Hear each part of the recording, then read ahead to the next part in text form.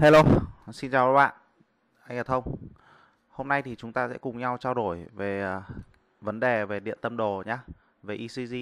Cái phần này ấy, chúng ta sẽ nói về vấn đề là rối loạn nhịp tim.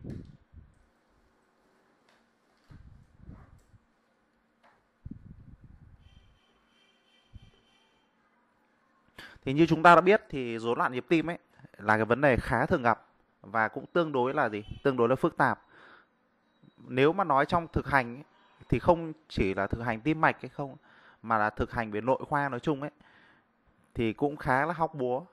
Đấy ví dụ chẳng hạn như là à, đứng trước một bệnh nhân bị rối loạn nhịp tim các bác sĩ nội khoa sau khi đã loại trừ các cái nguyên nhân mà gây ra rối loạn nhịp tim nhá thì ít nhất cũng phải xem cái gọi là cái điện giải đồ điện giải đồ thì chúng ta sẽ xem thông số natri và kali máu nhá.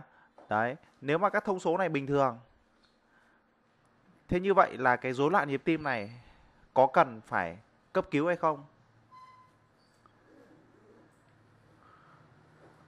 Và có cần phải hội chẩn thêm chuyên khoa tim mạch hay không? Hay đứng đằng sau cái rối loạn nhịp tim này là cái nhồi máu cơ tim chẳng hạn nhồi máu cơ tim. Như vậy là rối loạn nhịp tim các bạn đừng nghĩ rằng là nhịp tim bình thường là 160 cho đến 100 lần một phút.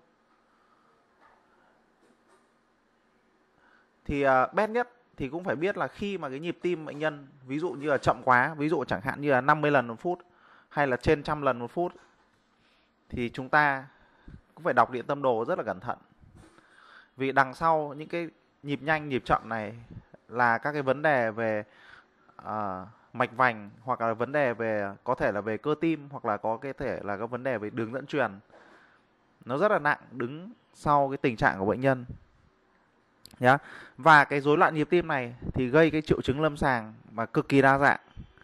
Nhá. Từ có thể là bệnh nhân từ không có triệu chứng đến hoặc là bệnh nhân có những cái rối loạn nhịp có thể đe dọa tính mạng chẳng hạn như là tụt huyết áp đúng không? Thậm chí là sốc tim ảnh hưởng đến tính mạng của người bệnh hoặc ẩn đằng sau đó là cái nhồi máu cơ tim. Mà nếu mà chúng ta không tái thông mạch vành ngay thì cũng rất là nguy hiểm cho bệnh nhân nhá. Thì cái việc mà à, đánh giá cái rối loạn nhịp tim này thì cái bài hôm nay ấy sẽ chủ yếu trình bày cho bạn cái vấn đề về uh, điện tâm đồ nhá. Nhưng mà trong lâm sàng ấy thì các bạn cũng phải khai thác bệnh bệnh sử và đánh giá lâm sàng đi kèm với một cái điện tâm đồ. Nhá một cái điện tâm đồ ờ, uh, 12 chuyển đạo. Và bạn phải nhớ là điện tâm đồ này thì nó rất là đơn giản. Tức là cái cách làm nó rất là đơn giản. Cái mắc cái điện cực thì bạn sinh viên nào cũng mắc nhé nhưng mà bạn phải nhớ là nó là cái động học.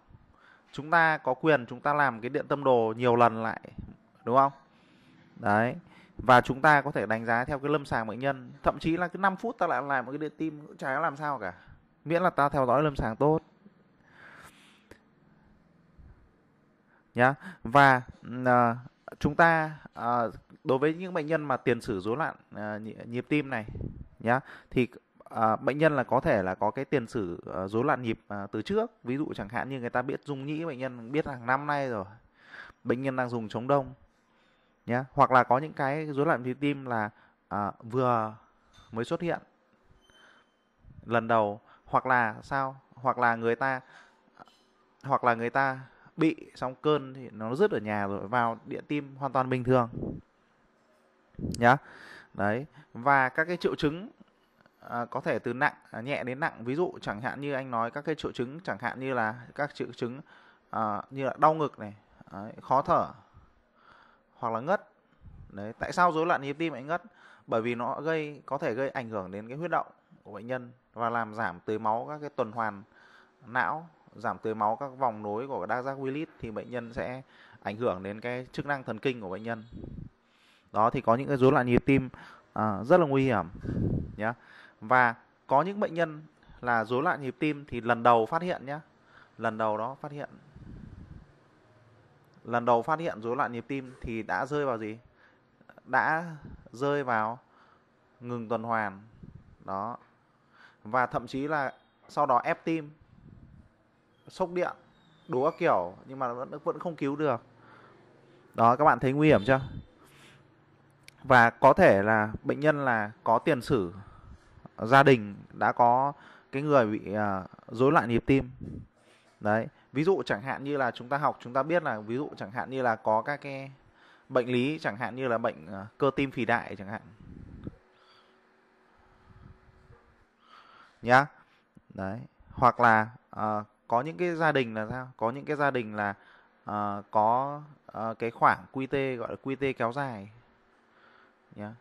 Rồi QT là gì? QT là điện tim của mình nhá thì có sóng này sóng P này sóng Q đúng không? Sóng R đúng không? Sóng S xong đến một đoạn đây đúng không? Thì sóng T P này Q này R này S T. Thì cái đoạn QT này tức là nó thể hiện là cái thời gian uh, điện học của cái tâm thất đúng không? QRS là cái phức bộ ờ, uh, khử cực của tâm thất còn T là sóng gì? T là sóng tái cực. Như vậy QT thì kéo dài thì đơn giản ta sẽ cứ hiểu. Thì chúng ta nếu mà đọc điện tâm đồ ấy thì có mấy cái quyển này nhá. Thì anh giới thiệu cho các em nhá. Một đấy là quyển à, à thực hành à, đọc điện tim. Đấy em có thể dùng quyển của thầy Trần Đỗ Trinh chẳng hạn hoặc là thầy Nguyễn Quang Tuấn. Thứ hai là em có thể đọc quyển điện tâm đồ Make Easy nhá thì cái này nó có hai hai quyển. Một là quyển lý thuyết hai là quyển 150 vấn đề điện tâm đồ của Hampton. Hoặc là em đọc quyển ờ, điện tâm đồ và các cái ca lâm sàng ờ, minh họa. Nhá. Đó. Và à, có quyển nữa. Đó là quyển à, quyển các cái cây lâm sàng cây lâm sàng về điện tâm đồ.